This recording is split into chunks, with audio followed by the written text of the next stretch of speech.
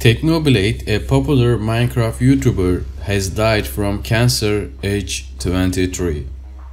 In a video uploaded to his YouTube channel titled So Long Nerds and narrated by his father, Technoblade thanked his fans and fellow streamers for their support over the years and revealed that his real name was Alex. He would accidentally let slip he was called Dave in an earlier video. Hello everyone, Technoblade here. If you are watching this, I am that he says.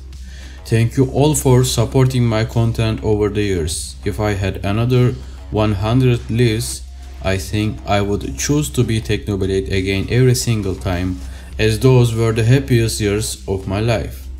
In the video, Technoblade apologizes for selling out so much in the past year by offering merchandise but knows that as a result, his siblings will be able to go to college. Well, if they want to, he adds. I don't want to put any dead brother peer pressure on them. Technoblade's father describes how the two discussed making a final video but said Alex was having a hard time doing the writing due to the effects of his illness. His father says Technoblade wrote the script for his final video from bed and died shortly afterwards. I don't think he said everything he wanted to say, but I think he got the main point, says his father. He finished that up and then he was done. He lived about another 8 hours after that.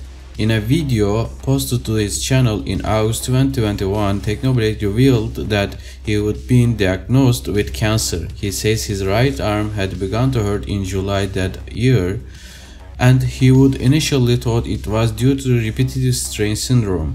Eventually, he went to a doctor at the beginning of August and was diagnosed with sarcoma, a rare type of cancer that grows in the body's connective tissues. I feel a bit silly talking about this with Minecraft in the background.